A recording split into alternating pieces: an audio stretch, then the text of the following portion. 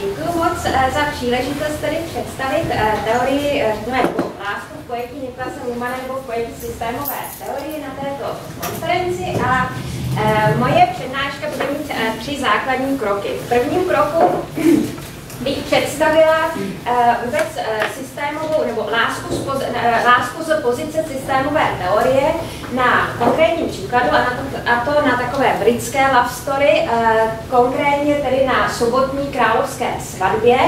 Chápu, že už vás to všechny jako poněkud může opravovat, ale tímto krokem bych považovala tuto událost za uzavřenou. Uh, v druhém kroku a můžeme jít dál, všichni to zpracujeme nějakým způsobem.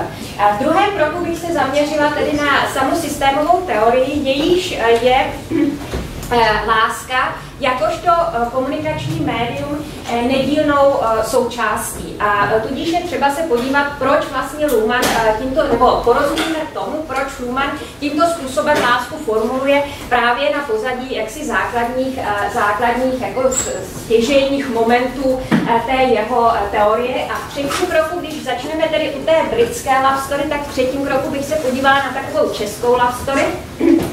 A Eh, přiblížila bych tedy znovu eh, jaksi eh, pojem lásky a i jakési vyvanutí, vyvanutí lásky, která je, které je bytostně s pojmem lásky zpěto nejenom v bílém Lumana. Takže já začnu hned tedy tím britským, britským příběhem. Eh, když si princ Charles eh, bral 1981, nebo když se 1981, když se zasnoubil s um, budoucí tedy jeho manželkou, princeznou Dianou, tak um, s ním vedl novinář takový slavný rozhovor, kdy se novinář několikrát snažil vlastně donutit prince Charlese k tomu, aby řekl, že je do Diany Spencerové zamilované. eh, zamilovaný. A eh, vlastně neustále jako se ptá, teda jste zamilovaný a on asi pětkrát řekl, děkuji za optání, jsem velmi spokojený. A, a až vlastně jako na šestém náběhu eh, pronesl tuto větu, whatever in love means.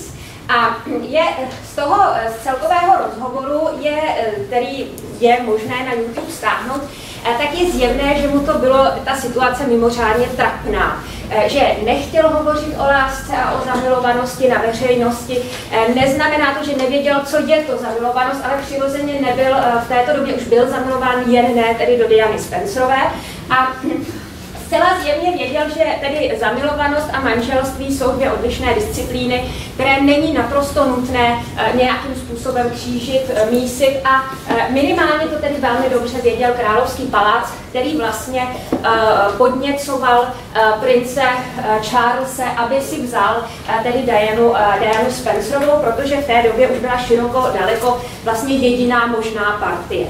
A když se podíváme, takže jako ale láska a zamilovanost jo, nebyla v popředí tohoto příběhu a především nebyla ani mediálně prezentovaná. Bylo to chápáno opravdu jako něco, co je trapný prostě a co se jako v souvislosti s královskou rodinou, uh, o, o čem se v souvislosti s královnou rodinou prostě je to něco jako jiný žánr. Že jo. No, když se podíváme ale na eh, ten náš už eh, současný, eh, současný příběh, který jsme nyní sledovali v médiích, tak ten už je takový rozkošnější a tam vidíme, že se ty jednotliví účastníci v žádném případě nebojí vyjadřovat lásku k sobě navzájem, zamilované, zamilované pohledy a jak si explicitně dramatizovat to, že jsou zamilovaní. Že? No, ať už ta Megan a ať už Harry neustále, jak si slýcháme o tom, jak prostě jim tato osoba změnila, změnila život.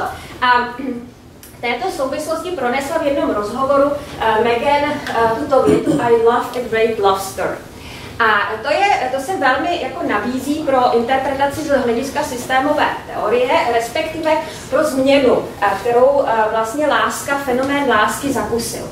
A protože když se podíváme ještě na tradičnější společnosti a nebo právě na tu královskou rodinu, která stělesňuje jakýsi tradiční struktury uprostřed už moderní společnosti, eh, tak vidíme, že láska eh, je něco, co v zásadě jde mimo ty hlavní, nebo má jít mimo ty hlavní struktury společnosti. Není to něco, na čem má být postavena stabilita. Že jo?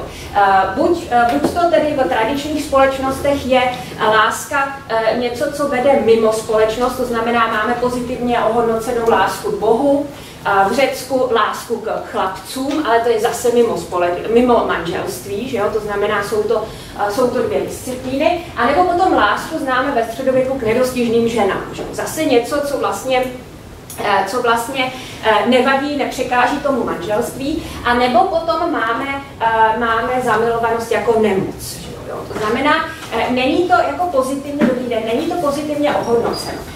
Zatímco moderní společnost je definována tím, že právě lásku pozitivně ohodnotí že ji vlastně pustí eh, do centra eh, těch eh, společenských institucí, do toho, co má vlastně zakládat jako pevné společenské instituce, kterým je rodina nebo kontinuita ve společnosti. A proto je jaksi základní rozdíl je to, že my moderně vlastně milujeme lásku samou. Že? A e, e, nějakým způsobem ji provokujeme a e, nějakým způsobem ji e, jdeme naproti. Že jo? Nebo Lumar říká, jsme zamilováni do zamilovanosti. Jo? Něco, co, e, něco, co e, vnímáme jako mimořádně pozitivní, takže to e, e, můžeme nechat okomentovat Lumana. Kromě touhy po vlastní touze toužíme po touze druhého.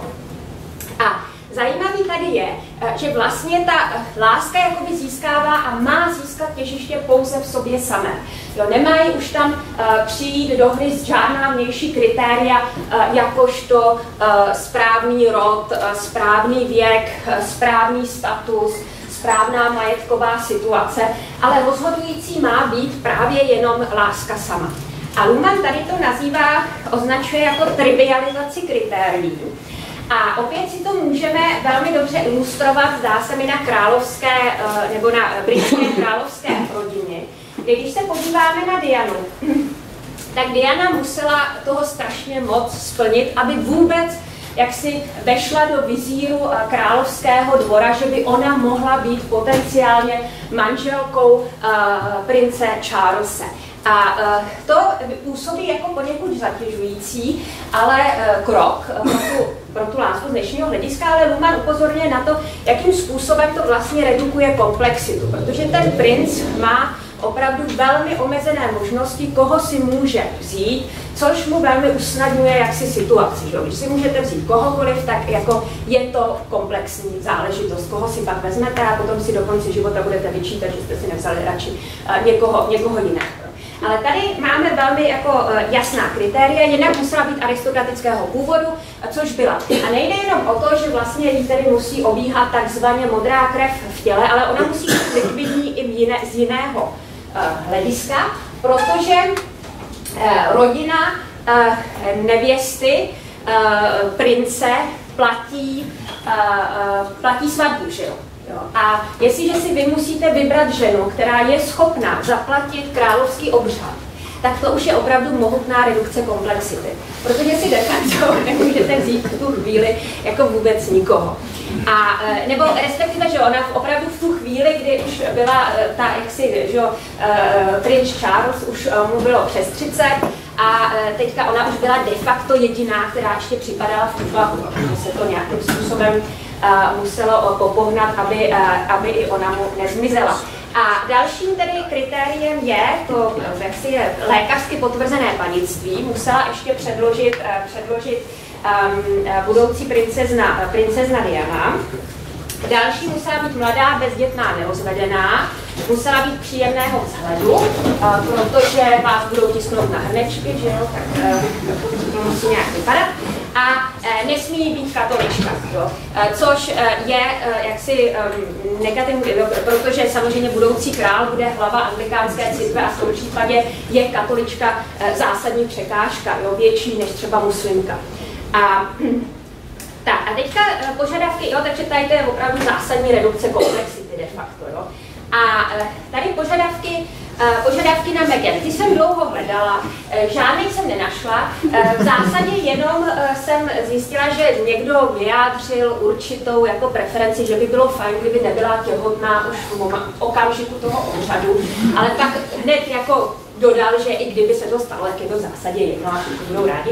A pak jsem se dívala na rozhovor DVTV, eh, kde Jindřich Forej eh, vlastně vyjádřil eh, velmi hezky toto, toto, tuto situaci. Princové si dnes vybírají ženy, do kterých se zamilují. Nikoli tedy ženy, které, které splňují určitá, určitá kritéria. Čímž mají princové samozřejmě pěkný problém, že? protože jak mají zredukovat komplexitu. A e, jo, a, a ještě si teda všimněte, že Megan vlastně popírá všechny, e, všechny ty kritéria na té levé straně, ne všechny teda, jo. Uh, je opravdu velmi hezká. Ale jinak, jinak teda by měla, bezdětná taky je, ale jinak si myslím, že pro ní neplatí. Ještě je teda, není katolička, ale jinak pro ní neplatí si myslím teda vůbec nic. Jo, rozhodně není například mladá, jo. je to jak si v 630 být, být nevěstou královské rodiny, to je teda taky pozoruhodnost vlastně. No, tak jdeme od toho. Teď jsme potrápili Megan a teďka se podíváme na Harryho, jakým způsobem nám, co nám jak si sděluje o svém, o své lásce. A tady v rozhovoru pro BBC um, uh, opět jako vyjadřuje velmi hezky, vlastně, nebo hezky, no, zkrátka to, co je, co je jediný kritérium přípustný vlastně pro moderní pojem lásky. Do Megan jsem se zaminoval tak neuvěřitelně, ale opravdu neuvěřitelně rychle, že jsem to pojímal, že jsem to pojímal jako svého druhu stvrzení, že je vše naprosto dokonalé. Vlastně jediné, co může už sloužit jako potvrzení, jako redukce komplexity, je, že jste úplně pav. Uh, už vlastně teda nemůžete uh, prostě se uh, si postavit na žádný jako kritéria, musí to být vlastně síla toho citu, jo? proto on taky tak jako jo, tak neuvěřitelně rychle se, nejenom, že se zamiloval, ale strašně rychle se zamiloval, že? tak to jako musí být přece dobrý, protože kdyby to jako nebyla ta pravá, tak by se do ní nezamiloval. A Potom je zajímavé, že neustále jako jo, tato krásná žena vpadla do mého života a já vpadl do toho jejího. Jo. Jako oba dva jsou přepadení vlastně, eh, vlastně tím citem. Což je taky zajímavý eh, moment, který velmi hezky eh, sformuluje Luhmann, jakožto typicky vlastně moderní vášeň. Jo. Že my vlastně pojímáme vášeň eh, jako něco, čemu jsme zcela pasivně vydáni a co nás tudíž oprostuje od toho, aby jsme, jak Luhmann říkal, oprost, abychom se oprostili ve věci lásky od společenské a morální odpovědnosti. Jo.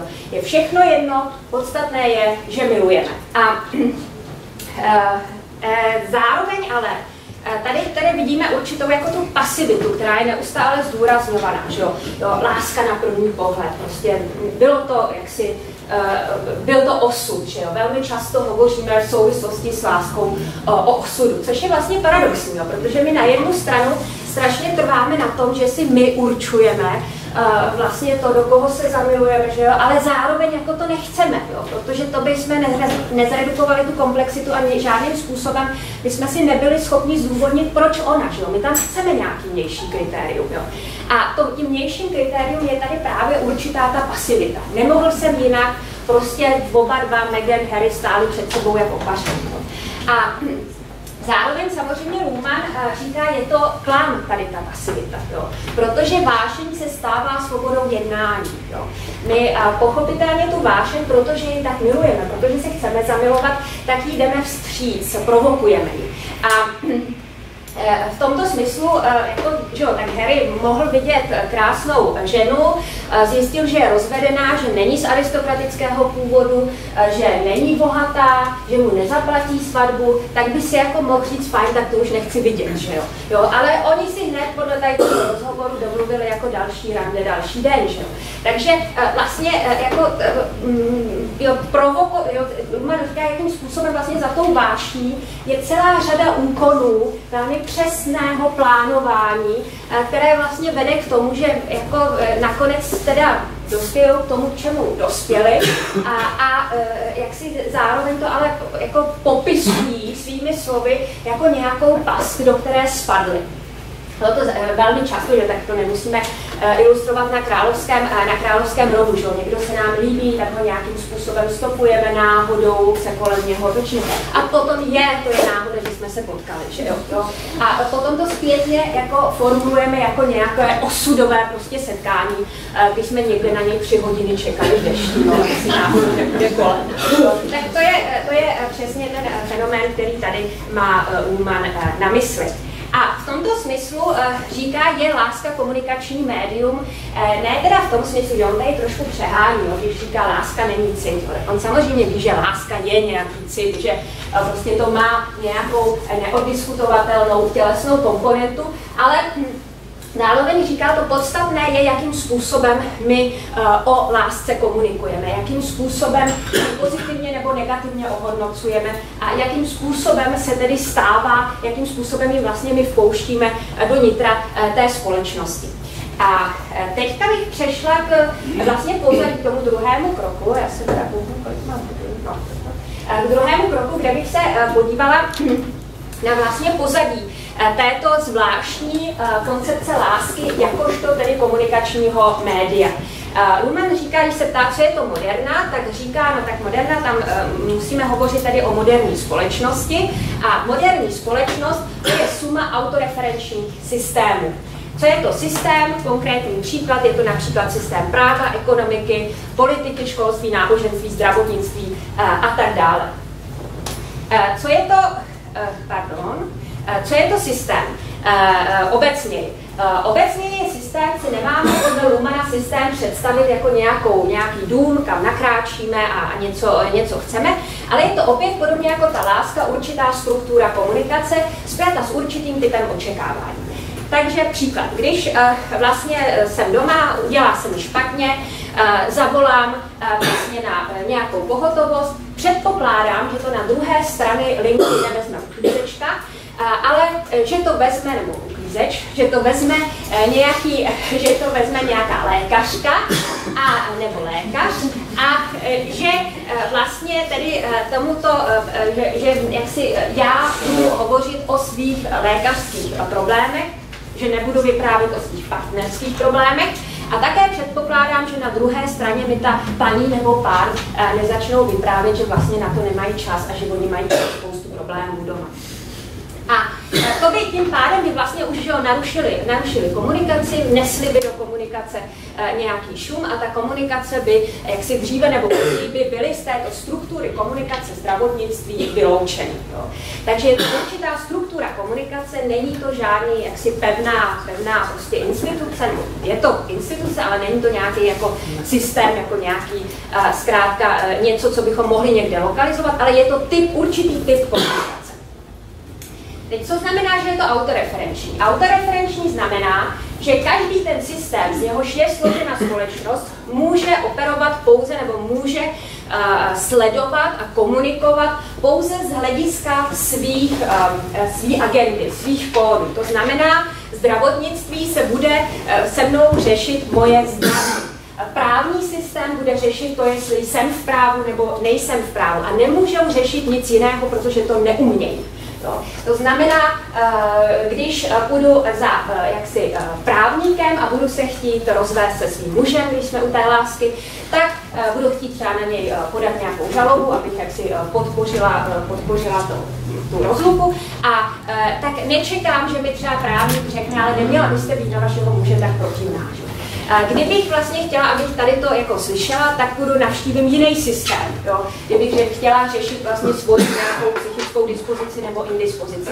A opět by tady tato vlastně, tento výrok, který je mimo, vlastně mimo ten komunikační rámec, vnesl určité šumy do naší, do naší komunikace. A v tomto, v tomto smyslu říká Luhmann, že systém, každý systém je operativně uzavřený, což neznamená, že ty lidé, kteří komunikují ty daný systémy, to jsem říkala něco, co by Luhmann nechtěl říct, že lidé komunikují, ale budíš, ale že eh, ty jednotlivé systémy komunikují a že jako nevidí jo, ten mějšek, že nezaznamenají tu mější komunikaci, ale znamená to, že to zaznamenají jenom skrze tu svoji agendu. Jo? Všechny jsou to takový, jako jak se často hovoří o těch sociálních bublinách. Jo? V momentě, kdy se někde stane nějaká uh, přírodní katastrofa, tak pro ekonomický systém to nic neznamená, dokud se nevyčíslí škody. A dokud se neřekne tady prostě uh, tímto způsobem na to zareagovala burza a tak dále. To. Nemůže jaksi ekonomický systém řeč, řešit ekologickou katastrofu jiným způsobem, než tím, že se podívá na to, jaké jsou finanční škody, ekonomické škody a případně tam může něco poslat, nějaký peníze. Že? Nemá jiné médium, kterým by, eh, kterým by operoval. A teď co je člověk? No, člověk je taky autoreferenční systém, tam máme takový ten výrok, nemůžu se přeskočit, že jo, ona ne, ona se nemůže přeskočit, nebo on. A e, znamená to tedy, že opět, jak si máme e, nějaké, v zásadě kopernikánský obrat, že máme nějaké hodnoty, nějaké představy, které zkrátka strukturují, redukují naši komplexitu a které, e, které jako jsou, z nich nemůžeme vystoupit. Mějšek je přístupný pouze v našem nitru.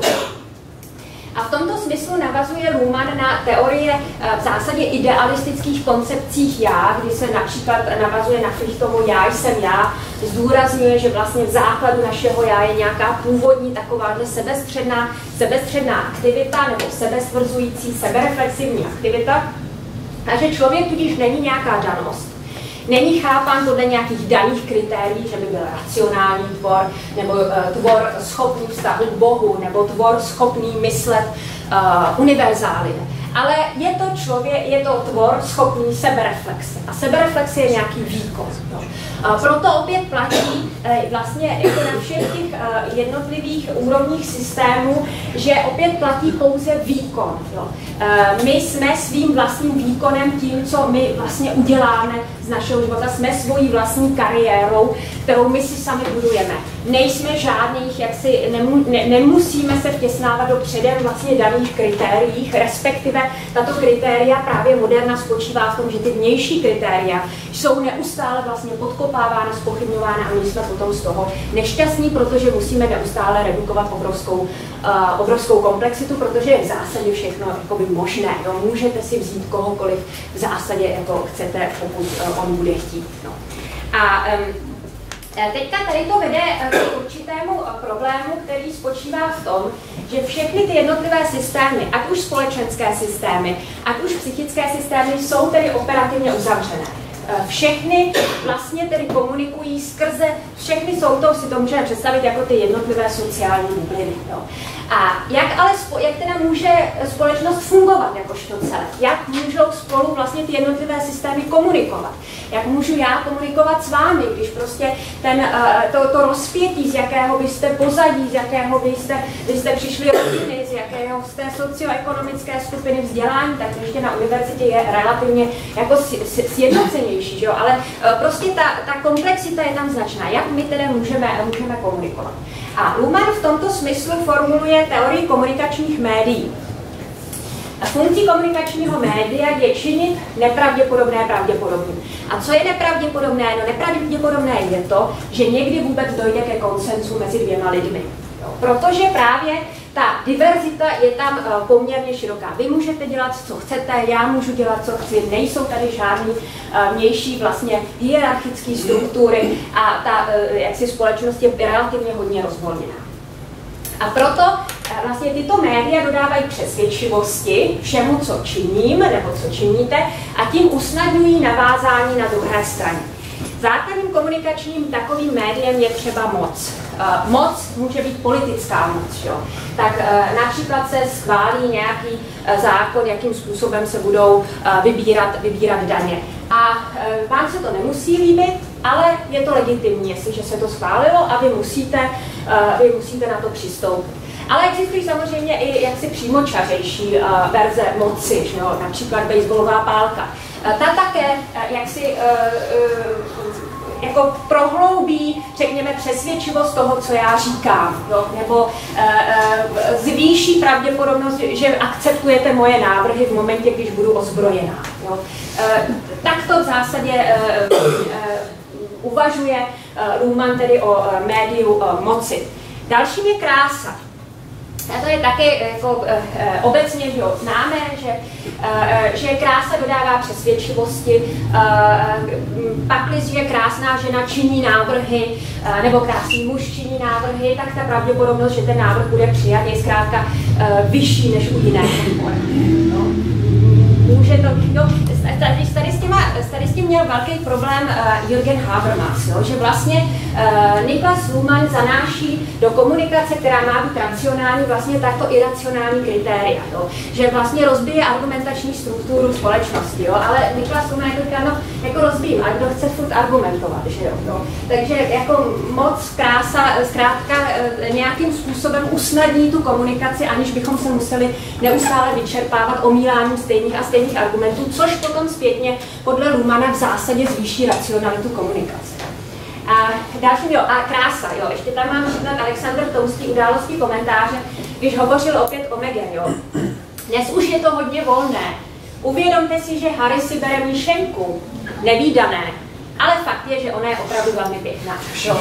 E, takže, takže jako vidíte, tak to není nic jako pošklivýho, že jo, no, tak jako ona je opravdu z uh, smíšené, smíšené rodiny, což je nevýdané, že jo, ale na to jako supluje to, jako nahradí, nahradí to tou krásou, která jako naváže, naváže, je schopná jako navázat uh, na tu uh, komunikaci. No a um, uh, takže krása, Dalším je právě komunikační médium je láska. A to znamená, že v lásce, um, když vás někdo miluje, tak, pře, tak um, přenese přes srdce to, alespoň díl než ostatní, že jste nesnesitelní. To, znamená, sníží uh, vlastně dopady vaší nesnesitelnosti. To je láska. Samozřejmě ne dlouhodobě, nebo alespoň ne v naší společnosti dlouhodobě, ale z pravidla nesnesitelnost um, partneři snáší líp než pracovní partneři. Jo. Milostné partneři než pracovní, uh, pracovní partneři. To je prostě funkce lásky. Jo. Vzniká, vzniká přijetí tam, kde byste vlastně z racionálního hlediska přijetí neměli mít. No a posledním, jako asi nejúspěšnějším médiem jsou peníze. Že jo? Tam jako, ty, jako velmi, velmi pěkným způsobem nahradí i krásu, nahradí i moc a opět Jürgen Habermas byl z toho nešťastný, že Luhmann jako legitimizuje to, že peníze kolonizují vlastně politiku a zase říká, no ale jako ten iracionální moment je potřebný pro určitou míru racionality. A e, tak, to jsou teda komunikační média. A e, teďka navážeme na jedno to komunikační médium, kterým je, kterým je láska a blíže se ještě na to e, podívat. Takže už jsem říkala, láska znamená, že vaše nesnesitelnost je pro někoho snesitelná. A e, zároveň Zároveň to není tak, že by vlastně jste v momentě, kdy eh, jste v nějakém partnerském vztahu, že by podle Lumana jako došlo k nějakému narušení té uzavřenosti jednotlivých psychických systémů. Vy jste na, nadále dva lidi uzavření, ale vy si vytváříte společnou komunikační strukturu. A na základě této komunikační struktuře vy zrcadlíte, duplikujete svět ale takovými fiktivními prvky. Vy vlastně se díváte, co se děje ve vnějším světě nebo ve skutečném světě a tak spiklenecky jako to komentujete, ironicky to komentujete, jo, kdo zase někde něco vyráběl. A tím způsobem si vytváříte určitý vlá, váš vlastní fiktivní milenecký svět s tím druhým, který vytváří určitý odstup od toho skutečného světa. Tam je důležité že láska nepracuje s médiem pravdy.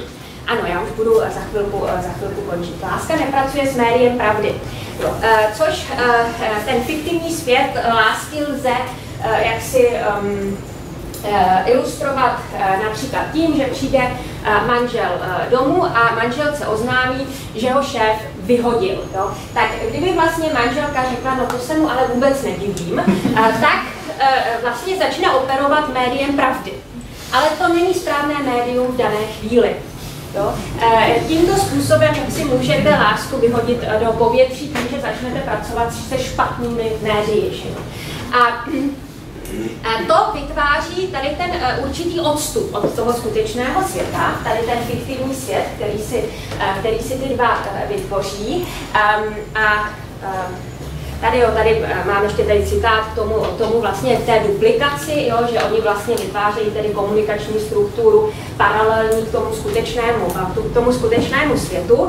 A má to určité výhody, že? protože vy vytváříte, vy získáte určitý odstup, ty, kterému se cítíte silnější, někdo mě miluje, jo? takže a, a, a jakoby teoreticky můžete lépe jako ve světě svobodněji, uh, svobodněji vystupovat, protože nepropadáte tomu světu tak absolutně, jo? máte jakoby určitou distanci. Ale Jistě cítíte, že tam bude nějaký problém, že se můžete produplikovat do určitých nesnází. V momentě, kdy si vytváříte tak, vytvoříte tak vlastně fiktivní svět, že najednou ten skutečný svět je pouhým jakýmsi příběžkem toho fiktivního světa. A v momentě, a nyní teda ta česká ilustrace, v momentě, kdy potom kdy potom pošlete na eh, manželku vašeho milence eh, vojenskou rozvědku, tak, tak pochopíte, že jste to s tou reduplikací přehnali. A, a tento příběh, kdy tady na panu Nečasově zjevně vidět, že reduplikací přehnal. Na tomto, na tomto příkladu, já to nejde o to, že bychom se teď tím chtěli smát, jo, jako samozřejmě, ale, ale jde o to, jde o to, že to je opravdu jako velmi dobrý, um, že to jako ta systémová teorie velmi dobře tento fenomén postihne. Protože vy, samozřejmě to, že se občas někdo zblázní z eh, partnerského vztahu, tak a že to psycholog nějakým způsobem iluzí a, a tak dále vysvětlí, to je jasné. No. Ale tady máme jako jeden pár, eh, který, je, eh, který jako v tom jel opravdu společně. Jo. A, a vlastně vytvářeli jako zcela jako v zásadě iracionální kroky a zdá se mi, že v tomto smyslu systémová teorie nám může pomoci tento jako dost šokující příběh projasnit. A už budu teda končit a když jsme u té české love story, tak zároveň už jsme u konce s láskou úplně.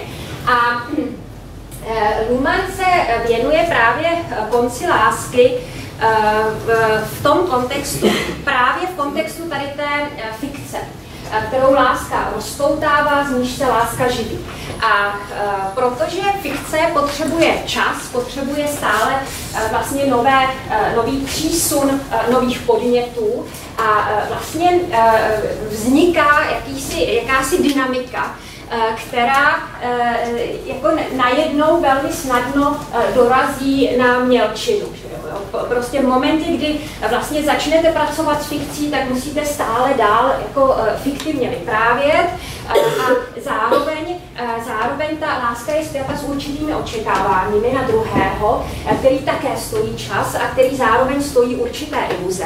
A tímto způsobem se láska právě díky tomu, že pracuje s imaginací a že pracuje s představivostí, velmi snadno vyčerpá. Alespoň co se týče jako to, že je jedna žena nebo jeden muž podnětem, podnětem té lásky. No tak právě tím, že láska zabírá čas, ruší sebe samu. Rozkládá i vlastnosti, které dávaly křídla její imaginaci. Kráska se už po druhé jeví jako méně krásná a ošklivá dívka jako přijatelnější. Přesměrování kódu od přírody k imaginaci, jinak řečeno, vystavuje lásku časové korozi, a to rychleji, než by dokázal přirozený rozklad krásy. Takže ta imaginace vede k tomu, že všechno se rozkládá dříve. Jo, láska vlastně v momentě, kdy ji někam pustíte, tak můžete předpokládat, že se vztahy zatočí dříve, než kdyby tam vstoupila. Jo. To je paradoxní v tom smyslu pro Lumana opravdu, že tady takovýhle bytostně vlastně rozkladný médium slouží moderní společnosti jako základ něčeho, co má mít stabilitu to znamená manželského svazku a ne nadarmo si potom ten manželský svazek, jestliže chce být nějakým způsobem pevný, stejně musí jaksi outsourcovat vnější kritéria uh, reality, ať už je to hypotéka nebo, uh, nebo děti, že jo, který nějakým způsobem jako uzemní vlastně, uh, uzemní tu uh, lásku a pak už můžete uh, pracovat i s médiem pravdy. Tak, děkuji za pozornost.